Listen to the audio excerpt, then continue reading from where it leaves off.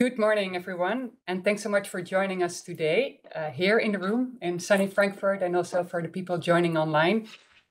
My name is Irene Heemskerk. I'm heading the Climate Change Center at the ECB, and I have the pleasure of opening this session and moderating the first uh, part of the whole workshop today, uh, where we will be discussing the insurance protection gap and the policy options to also reduce it and solve it. Last week, the World Meteorological Organization sent out a warning message that we will likely already breach the 1.5 degrees in the next five years, so before 2027, on a temporary basis and with an increased frequency. Also, the last couple of days, we witnessed the heavy rain, catastrophic floods, and landslides in Italy. It's the worst uh, flood in Italy in 100 years and it leaves thousands of people homeless. This also comes a bit later with the question who's going to pay for the damage that will that occurred there? And how can we uh, solve it? And what part of that is insured?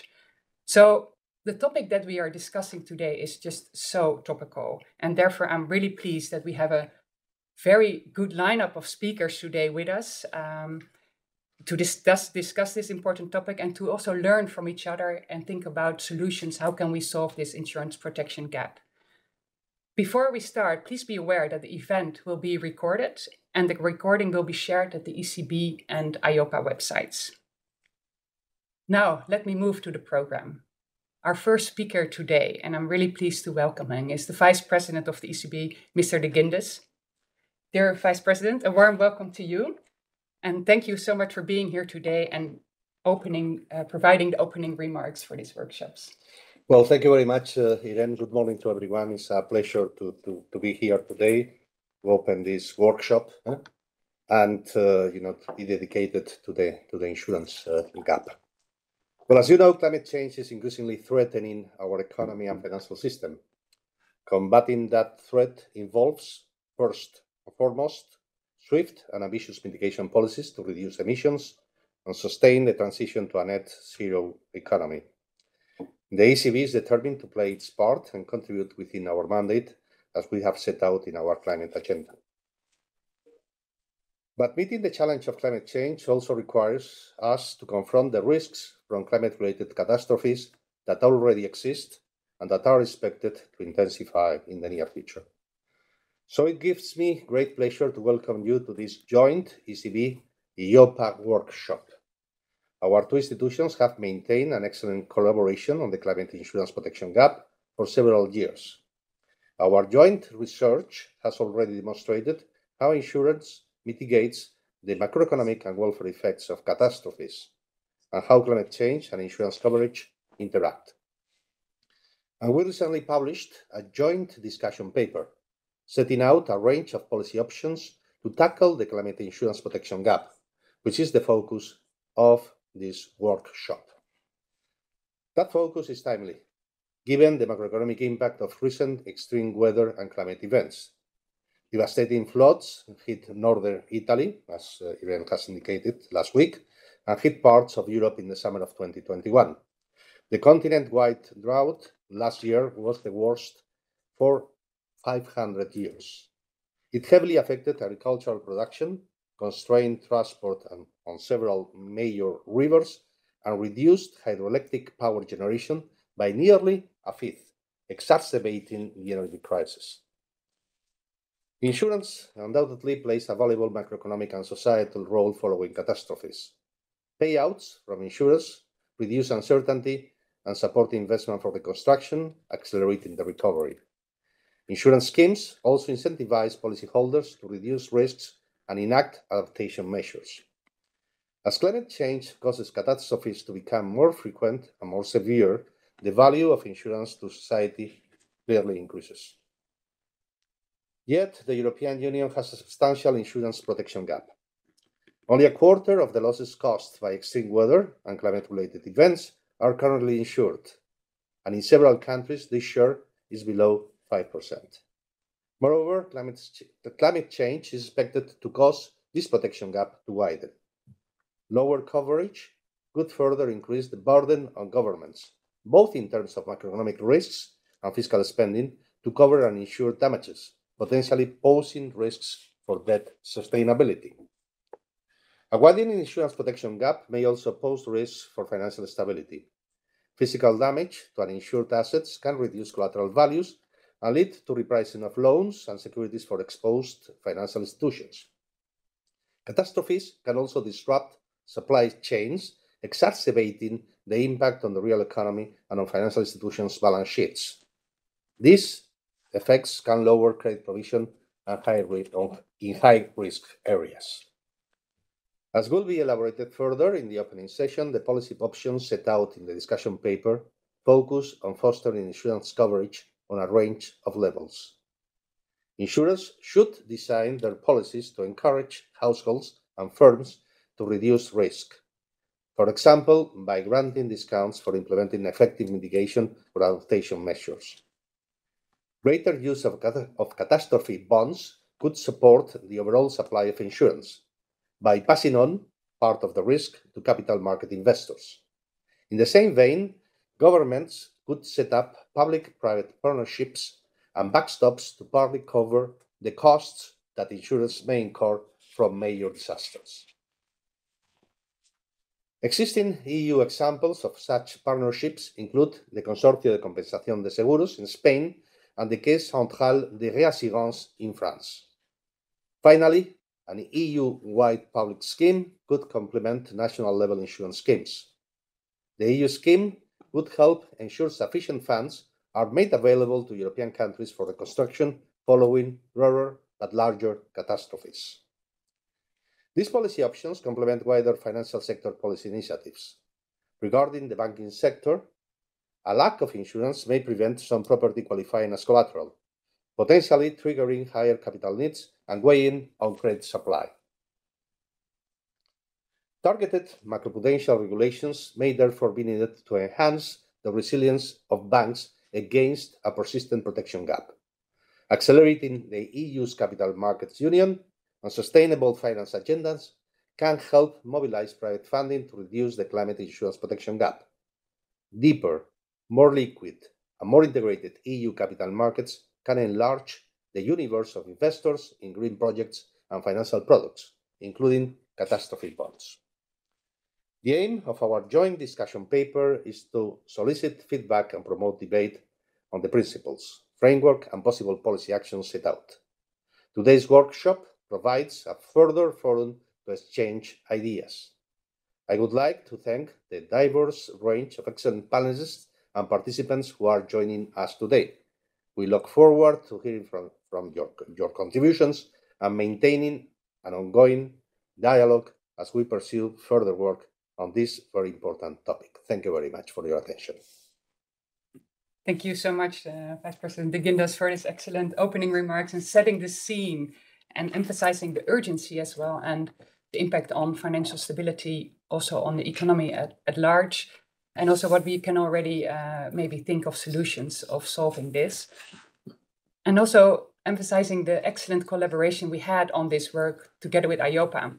And this brings me to introducing the next uh, uh, speaker of today. That is Chairperson Petra Hielkema from EIOPA. Uh, she'll be bringing the insight from EIOPA. Petra, please, the floor is yours.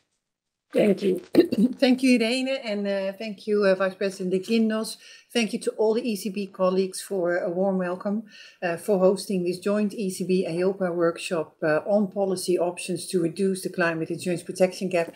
And thank you, of course, to the team in ECB and EIOPA that have been working on these policy options and the reports, as well as this workshop uh, uh, for, for a while, with, I think, an, an interesting result that we really need to discuss.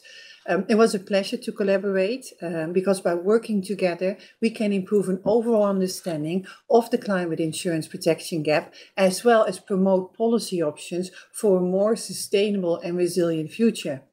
We believe that only discussing and exchanging views with a broad group of stakeholders will help. So that includes not only supervisors and central bankers, but also industry, NGOs, and academia. Um, and that's where you come all in. And we hope to identify solutions together to uh, uh, solutions that are sustainable, that are fair, but that are also implementable. Because I think we really need to also be able to, to not just talk, but act. And it's therefore heartening to see that so many of you are joining these events, both in person as well as online. And it is my pleasure to be here with you this morning. Now, some general words on, on climate change. A lot has been said. It's, it's a global challenge posing material risks to society and the economy uh, and to the transition um, uh, that we need to do, but we need to do it and we need to do it urgently. The consequences of climate change are becoming more and more transparent and Unfortunately, uh, though I like to give concrete examples when I talk, unfortunately, I am able to, every time I talk about this topic, give a new example. Uh, already the recent flooding in Italy was mentioned, but only in the last two weeks I visited Spain, where the early, very hot spring and therefore drought is a concern. And after that, of course, the weather system that caused trouble in Italy first uh, went over Croatia, also there, uh, resulting in tremendous flooding. And so, in this regard, uh, when it comes to these damages and, and when it comes to these, these developments that are just happening as we speak, uh, EIOPA and ECB share a common mission prevention and mitigation of systemic risk and preservation of financial stability. EIOPA and ECB have therefore been working together on a range of topics, including stress testing. Climate change is a particular example of a cross-sectoral risks where cooperation between our institutions is essential. And our ongoing work on, for example, nature-related risks um, draws from expertise and data on both institutions. Moreover, we will also work together closely to respond to the request from the European Commission, jointly with the other two ESAs, ESMA and EBA, as well as the ESRB, to do a cross-sector analysis assessing the financial system's resilience to stress in the transition to the EU's 2030 goals for the mm. reduction of greenhouse gas emissions. Moreover, at EIOPA, we have the ambition um, to have, uh, we have a very ambitious sustainable finance strategy, and we've always underlined the vital role that insurance companies will play and will have to play in a green transition and mitigating the economic impact of climate change. First of all, they're important long term investors, and so they can support the transition uh, to a more sustainable and resilient economy through their investments, through stewardship. But second, and here insurance within the financial industry is more unique, they are also the risk managers of society. And so they are called upon to support consumers, to, console, to support firms, to support governments against losses that follow from extreme weather events through their underwriting. And this includes also raising awareness, incentivizing climate related risk prevention and adaptation, as well as by swiftly providing the necessary funds when there is an impact. However, thirdly, we should not forget that also insurance itself will be impacted by transition risk uh, and by the increase in risk that we also all see. And so, therefore, EIOPA also considers it essential to understand the potential impact of climate change on the sector itself. And in recent years, we have monitored both transition and physical risk and published uh, several studies on this that you can find on our website, aiming to identify material exposures and assessing potential impact on the insurance sector. Now, when it comes to assess uh, uh, uh really impact on, on our society, let's talk about this protection gap. But for given the importance of the insurance sector, it is essential that this sector also continues to offer financial protection against the consequences of nat cat risks. What we now see, the number was already mentioned, but let's say it again, only one fourth, so only 25% of nat cat losses is insured.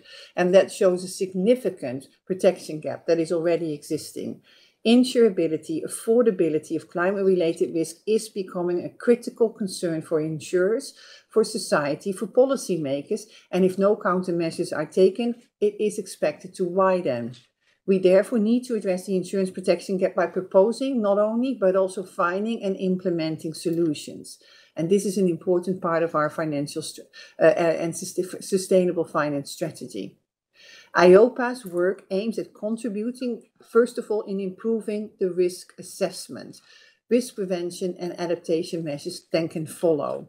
And in this context, we have developed a dashboard of insurance protection gaps um, that is focused on identifying the key drivers and improving risk awareness. This dashboard is available on our website, and per member state, you can see there uh, the, the, the, the four major nat cat risks and, and what, what size they have per, per member state, thinking about flooding, drought, earthquakes, etc. Moreover, we feel that the access to data and models is essential to do our work, but also for industry to do its work, for society to know what they're dealing with, um, and to build prevention measures.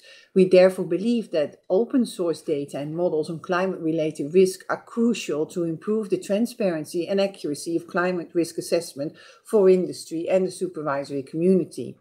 And to highlight this importance, EIOPA has developed and released last week the Climada app to facilitate the use of an open source catastrophe model, um, a framework that was developed by the University in Zurich and then enhanced by EIOPA to make it user friendly and, and brought to you in an app. And again, you can find this on our website.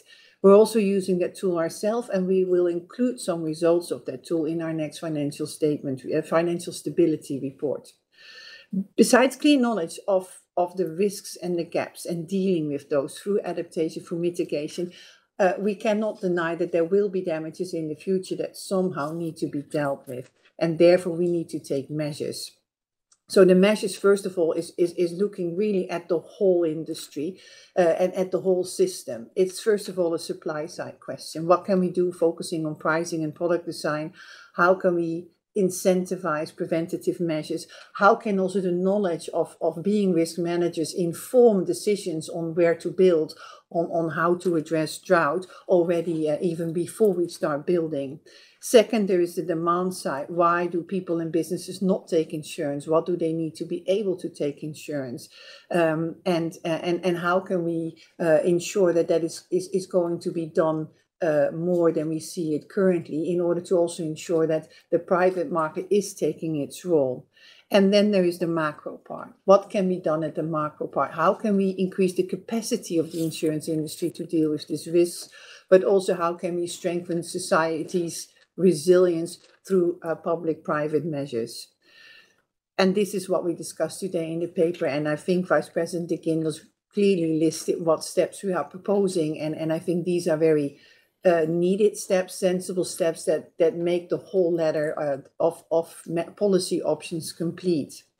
So let me conclude. Building on this work, we will continue to work closely with the ECB colleagues and identify policy options to enhance the insurance of European households and companies against climate-related catastrophes, while also creating further incentives to actually mitigate, to adapt, to reduce the damages. Whereas I would say that even if we really reduce uh, and by mitigation, we probably will see an increasing uh, number of claims.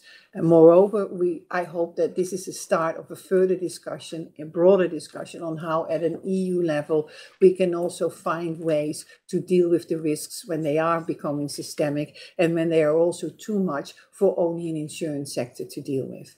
So I thank everyone who worked on this report. I very much thank the panelists who will speak today. I look forward to the discussion, but I also very much see it as only a start for more work is to be done. Thank you very much. To you. Thank you so much, uh, Petra, uh, Chairperson EIOPA. Thanks so much, uh, Vice President uh, De Guindos, for your excellent opening remarks and setting the scene for this uh, workshop we are having today. And uh, I think, Petra, you really set out nicely the role of insurance uh, in the whole spectrum of insurance protection gap. Also, the cooperation of the ECB and EIOPA together uh, on the stress testing, on, a, on this specific project, on nature-related risk, and also I think how we complement each other's work. So what the work that the ECB is doing on financial stability front with the stress testing in our own operations, on the supervisory side, on our macroeconomic models. And this, if I have one message for everyone today, I think we all have to pick up our piece of the puzzle for fixing this and working together, finding solutions uh, this is, I think, the key message and discuss what we can do there uh, at that front. So, with that, I want to thank both of you so much for being here and uh, wishing you a very nice day. And happy there to invite the next panelist. Thank you very much. Thank you. Have a good day.